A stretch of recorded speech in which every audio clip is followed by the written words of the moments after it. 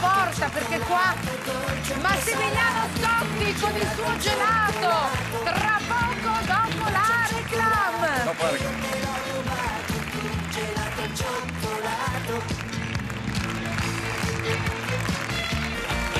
È mezzogiorno e 49, tutto va bene, lo scoiattolino mi ha dato la ghianda e siamo all'indizio numero 4 che recita così. Allora, prima di mangiare lo affetti e adesso pentola o dispensa. Ecco, Guarda, oggi, Nellina pronta a cucinare dopo. oggi Eh, allora, no, dimmi, intanto, dai, dimmi. intanto avremo avvicinato un sacco di giovani a Twin Peaks. Guarda, inizia a guardare, perché tu secondo me ti concentri solo sui nat- i lati negativi di questo gioco. No. Cioè la sconfitta, l'imbarazzo, la vergogna di uno che mette il... Invece devi pensare ai sentimenti positivi, no? Mm. La rinascita del film giallo anche, che abbiamo rilanciato con tante sigle. E perché Della no signora qualche... in giallo. La signora in giallo, Twin Peaks comunque. E perché no anche qualche sparuta vittoria, che secondo me ti dirò di più. Sparutissimo. Sparuta vittoria, però, però, eh, però tu le vittorie tutti i giorni poi uno si abitua. Hai ragione. Oggi infatti facciamo il brodo vegetale con la ricetta del cucchiaio d'argento. Allora, è molto facile, molto facile, ma c'è un ingrediente che per esempio io non ci metto. Ecco, tu E invece- a me viene in mente Barzetti che fa sempre questi brodi vegetali e ogni brodo vegetale Eh. ha il suo brodo vegetale che io mi immagino. Eh no, Eh. diciamo che questo è il brodo vegetale, ma c'è un ingrediente che non ci metto. Mi sento di dare il basta, non dico più niente. Basta. Pronto? 9 in pentola e 6 in dispensa. Nove in Nove pentola. in pentola. Pronto per fare un brodo? Eh, per fare il Vabbè. brodo ci vuole. Pronto? Per fare un brodo. Brodo, ci vuole Pronto? No, quella lì però era un'altra Ah, ok, pronto? Ciao, chi Pronto? sei? Sono Giuseppa da Gran Michele, Dov'è Gran Michele? è in provincia di Catania. Oh, è un, un Gran- paese esagonale, Esagonale. piazza esagonale. Bra, mi piace che voi parliate, lo sapete che io insisto sempre con la forza della provincia, che è il motore di questo paese. Allora guarda, ora che Quindi- me l'hai detto vengo a vederlo quest'estate, che vengo in Sì, Sicilia. sì, Sto, sì, sto. è un piccolo paese, però è bellissimo. Ecco, allora me lo Vedi. Gran Michele, poi anche un bel nome.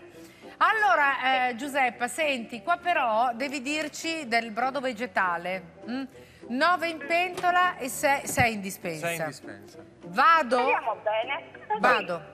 Sedano, Pentola, porri, pentola, rape. mm, dispensa. Eh, no. no.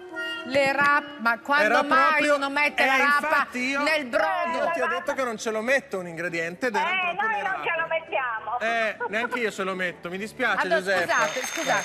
Sonda, chi mette... Scusate, un attimo. Ho chi è che di capito, voi ma- mette la rapa nel brodo? Ok, qualcuno di voi fa di cognome Antonella. cucchiaio d'argento? No. E quindi, eh, eh, cucchiaio d'argento, appunto, Anto, non è che... Poi vedi che io mi arrabbio quando la gente dice la ricetta originale, non esiste la ricetta originale, ognuno fa come vuole, un cucchiaio fa così. Però pronto. qui no, qui bisogna fare come il cucchiaio. eh, per forza. Pronto? Pronto? Eh. Buongiorno, chi sei? Sono Patrizia da Scafa, in provincia di Pescara. Vedi, tutti la provincia io da... Mi Beh, piace. Pescarese è bellissimo. Allora, vado, eh. Brodo vegetale, patti. Sì. Sedano, Pentola, porri, pentola, rape. dispensa. Ma l'abbiamo appena detto, Patti! Appena adesso abbiamo detto che le rape vanno in pentola. Ma Patti! Ah, Dov'eri, Patti? Eh, dov'eri, dov'eri? Se ti posso consolare, Ante. Dove vai? Via, questa Te ne vadi! Basta! La odio! Ti posso consolare? Meno male che vado da Antonella a consolarmi! Perché oggi mi fa delle orecchiette delle arse! orecchiette di grano arso. Il grano, il Che grano cos'è il arso? grano Te lo arso? conosci il grano arso, no Fulvio? Certo, sì. Eh, che Eh, cos'è sì. il grano arso? Grano arso. Una volta come tutt'oggi si bruciano i campi dopo la mietitura. Dopo la mietitura quindi questi chicchi andavano tutti sul campo e i poveri andavano lì e prendevano uno a uno questi chicchi, li portavano al mulino e facevano questa farina profumata che io te la voglio E far adesso è sentire. diventata di gran moda, è profumatissima. Vedete, ha un colore di questa sabbia perché è arso. Sì. È bruciato, Bruciato, guardate, ovviamente ecco. adesso con procedimenti meccanici si raggiunge lo stesso obiettivo. Però comunque è la farina dei poveri. Antonio, una volta prima, quando facevi le cose scure, giustamente tu facevi parte di, di una categoria di poveri, perché comunque erano tutti scarti. Adesso invece è il invece contrario, Adesso è il no? contrario. È il contrario, Sì. quando fai le cose scure Eh sì, è il contrario. È così, le mode. Le mode sono così, però questo è, è tutto, è tu- tutti ingredienti del mio territorio. Quindi andiamo Allora. subito a vedere che cosa, quali sono gli ingredienti. Allora, eh, ingredienti molto semplici, zucchina, fagiolini che questo è il periodo buono, le carote, fiori di zucca, basilico, e delle varietà di pomodorini, magari più colorati avete meglio è, e poi l'oliva bella di Cerignola che è un altro prodotto Eh, interessante, grosso, È giusto, bello, come lui parla olive taggiasche, Eh tu parli sì. delle olive di Cerignola, paese sì. che vai, olive che trovi. un po' di peperoncino fresco e del cacio ricotta leggermente affumicato. Per quanto riguarda l'impasto semplice, semola ma- rimacinata di grano duro e grano arso. Il grano arso non deve eh, diciamo, avere una percentuale molto alta all'interno del, del tutto, quindi io ho fatto più o meno 250 grammi di semola rimacinata e 50 grammi di grano Ok, arso. quindi sempre meno, no, questo sì, grano. sì, sempre meno. Questo l'abbiamo imparato, no? Sì. quando si usano delle farine un po' particolari Eh sì. bisogna usarle una percentuale più bassa. Bisogna dosarli. Che cosa andiamo a fare qui? Veramente una crudaiola che io servo anche fredda, quindi non è, è una cosa che possiamo magari Senti, fare. che tu pu- pulisci la crudaiola, no? vedo che c'è molto colore come la mia camicia giallo. Eh, Evelina, è importante questo colore in cucina, vero? Sì, a proposito di abbronzatura, no, visto che ne abbiamo parlato prima, eh, gli ortaggi giallo-arancio sono utili eh, per la presenza di beta-carotene, precursore della vitamina A, che sappiamo essere benefica per mantenere l'idratazione, il film idrolipidico della nostra pelle, quindi importante durante l'esposizione al sole. E vorrei chiarire che, contrariamente a quanto si possa pensare, eh, tutti gli ortaggi gialli, arancio, non stimolano la melanina, che è la sostanza che dà l'abbronzatura, ma favoriscono questa protezione e possono, se consumati un po' in eccesso, anche colorare la pelle. Però non hanno questa azione che tutti pensano di Uno stimolare dice mangio le carote e mi abbronzo di più, non No, è vero. È eh, questa Ecco. azione, mh, diciamo, Anche che aiuta. protettiva. Sì. Eh. Come Tu sei diceva, una che sì. sta al sole, Antonella? Eh, non tanto, non Anto, sì, quando ero più, più ragazza sì, ma adesso mi capita così. sì, un po', Poi un po' quando si lav- raramente. eh, poi tu, Però insomma, poi quando vado a Mauritius, poi giustamente poi È vero, abbronzo. quando vai alle Mauritius, eh, che ricordiamo è il, Eh sì. il paese dove lei ha conosciuto suo marito Sì. Bino tanti anni fa. Noi speriamo di Eh, poterci andare, non lo so, magari a eh, ottobre, tu sai Anche che... perché immagino che Vino abbia tutta la sua famiglia Eh là, sì, no? a tutti Quindi- lì e quindi bisogna andare Eh beh, ogni un po' bisogna tanto. andarli a trovare. Poi c'è un brutto sì. Mare, c'è un brutto mare. C'è un brutto le mare, un brutto mare, quindi, eh, bruttissimo, perché- orribile. La valigia. Eh. Posso portare la valigia se vuoi. Tutti si sono offerti di portare la valigia. Allora, vedete, quindi facciamo Sì, pezzettini facciamo- molto sì, piccoli. a tocchetti piccolini, così andiamo a cuocerli direttamente tutti quanti insieme nella stessa acqua. Ovviamente utilizzeremo la stessa acqua che poi eh, utilizzeremo per lessare le orecchiette, ma io nel frattempo le butto giù, avranno bisogno di tre minuti perché comunque le dobbiamo eh, scolare molto al dente e quindi le vado a mettere giù. Nel frattempo invece preparo quello che non deve essere cotto, no? E quindi prendo i eh, pomodorini, Che poi adesso ci sono questi bei colori dei pomodori gialli, rossi, Sì. eh, che insomma fanno subito allegria. Fanno subito tornati allegria. pomodori, cioè Eh. pomi dorati. Sì. Pomi dorati, è vero. Non è tanti anni comunque che, no? Sì. Pomodoro giallo? Pomodoro vero. giallo, È sì, scoperta tantissimo, recente. sì, sì. Che poi è dolcissimo il pomodoro, ancora più dolce di quello Dolce, rosso. delicato. Quando Io vado a prendere... valore al pigmento, Eh, quindi certo. è... Senti, ehm, Prendo una bella ciotola, Antonella, e inizio a Mm. mettere piano piano gli ingredienti all'interno. Io me ne sono preparati qualcuni un in più dai. così, eh, Allora, sì, per fare una bella ciotola. I pomodori gialli, aspetta Pomodori ti gialli. passo, eh. Poi i rossi. Poi i rossi, invece questi li Mm. lasciamo, tanto li abbiamo già fatti. Nel frattempo snocciolo le olive bella di cerignola, quindi le faccio anche queste a tocchetti. Mm. E poi preparo un intingolo. Scusa, eh, ma Sì, queste sì le devi assaggiare, Antonella. Eh sì. sono meravigliose. Io le lascio un po' ciccione queste perché mi piacciono di più, così poi danno anche un bel colore alla fine alla preparazione. E poi subito dopo ci mettiamo a fare le orecchiette perché quelle un po' le devi fare tu. Eh. Le devi fare tu. Perché, eh, Anto, in Puglia, se non sai fare le orecchiette una volta, non ti sposavi. Ah, Quindi- ma io non vorrei sposarmi più, cioè, non ho... Però Però vuoi imparare a farle, voglio dai. imparare a fare indipendentemente dal matrimonio. Sì, Secondo sì. me dobbiamo buttarle intanto queste orecchiette. Cosa sì, dici? sì, mo le buttiamo. Aspetta Guarda. un attimo, Antonella, che prima devo Ah, uscire vabbè. gli ortaggi, eh? Ah, ok. Esco gli ortaggi, li metto qua dentro. Adoro, Se mi invece... piace questa cosa di uscire gli ortaggi. Mi piace, adoro, adoro, adoro, adoro. Mi piace.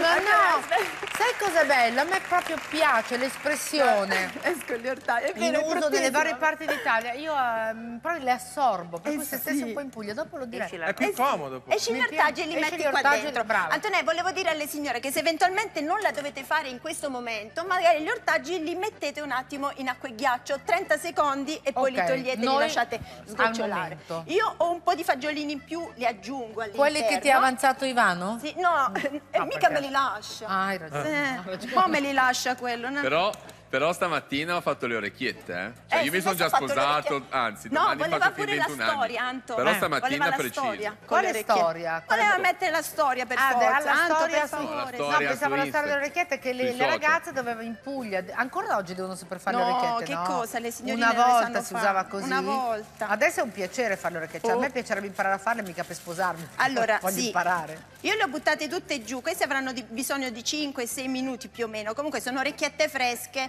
leggermente essiccate perché le abbiamo fatte stamattina presto nel track, quindi voglio dire. Allora ci dedichiamo adesso, visto che abbiamo un po' tutto, io all'interno vado a mettere già un po' di basilico fresco, spezzettato e gli oli essenziali vanno dentro, dottoressa. Brava. Dottoressa. La dottoressa, Dottoressa è bravissima, dottoressa. Un po' di peperoncino, Antonella, all'interno. Ma certo. Va. Un po' di pepe, così iniziamo già. Uh, che cos'è qua? Pepe in grani. Eh, Ho, ho sbagliato. Eh, dai. Va bene, Eh, non ti vabbè. preoccupare, ci abbiamo il Niente. pepe. Aspetta. Grazie, tanto Ok, per- ecco. Ok, benissimo. E così le verdure si iniziano già a marinare.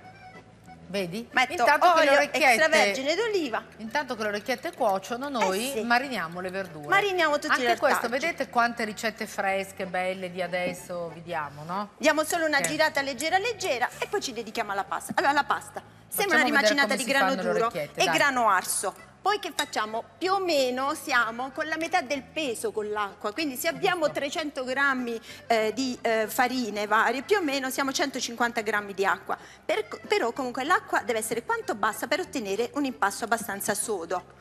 Quante volte hai fatto queste orecchiette? Tante, Questo tante. movimento così che ti pre- Tante, prelude all'idea di fare le orecchiette. Tante, tante. Dove sono andata? In ogni posto dove sono andata sono andata con il coltellino delle orecchiette. Che è Una questo? volta, sì. Guardate, che cos'ha in particolare questo coltellino? Eh, delle sì, diciamo che ha la punta arrotondata e leggermente ehm, c'ha la lama eh, zigrinata, no? Quindi Mm. è proprio particolare. Una volta Antonella stavo all'aeroporto di eh, Belgrado. Ti hanno fermato con sì, le orecchiette. perché Eh, col coltello non si può portare. Avevo dormito due ore soltanto perché avevo un evento, poi dovevo prendere un aereo la mattina presto. Hai detto, me metto lo sono nello dimenticato zaino, nello eh. zaino, mi volevano uccidermi. Eh, allora, certo. Una volta che si- È vero che con la punta arrotondata dove vai, però Vabbè, sai, però. eh, Allora, il maestro Marino che vuole sempre giustamente no, la pulizia nelle cose che Maestro riguarda Marino. il maestro Marino. No, Io vado sul tagliere, sulla spianatoia e continuo, diciamo, l'impasto. facciamo una bella lezione di orecchiette. Sì, facciamo un bel impasto.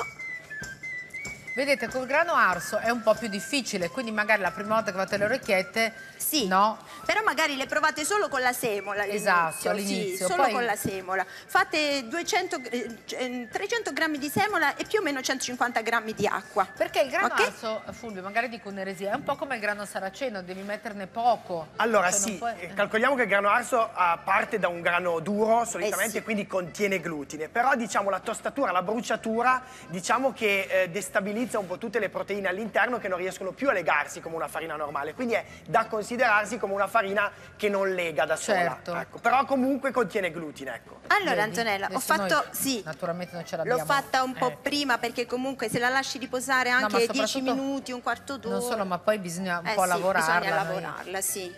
Allora, quindi con le mani facciamo un bel tubicino.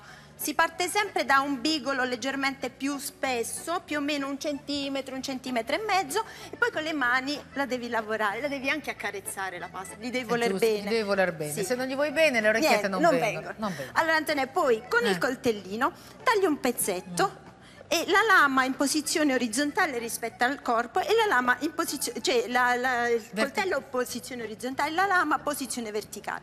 Lo fai scendere Trac. E poi dopo lo giri sul pollice. Ecco, secondo me il girare sul pollice è la cosa Eccolo qua, guarda. Perché se non lo giri fai un cavatello. Eh sì, se non lo giri diventa un cavatello.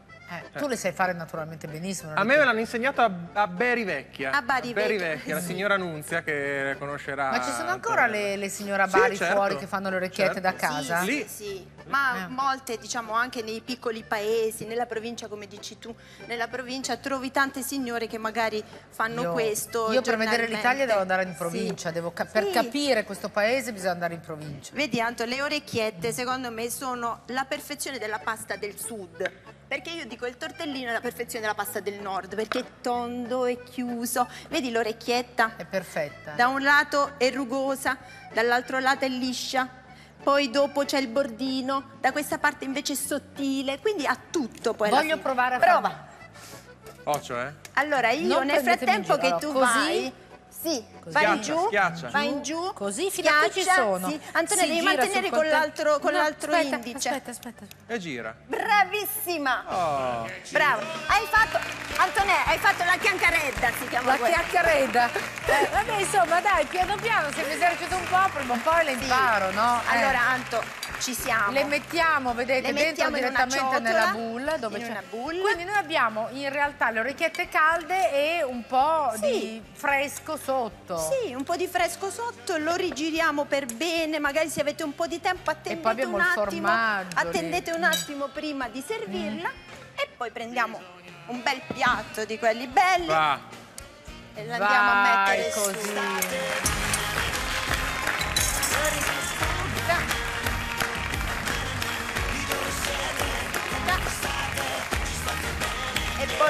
dopo, per finire, il cacio ricotta a. Il cacio ricotta, questo è un po'... mm, questo cacio ricotta mi hai detto che Leggermente affumicato. leggermente affumicato. Ok.